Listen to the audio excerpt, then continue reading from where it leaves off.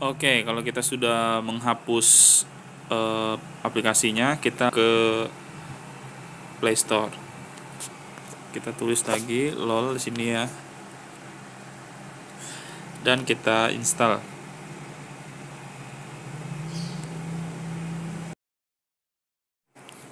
Oke teman-teman, kita udah menghapus ya. Ini penyimpanannya 27 dari 32 GB.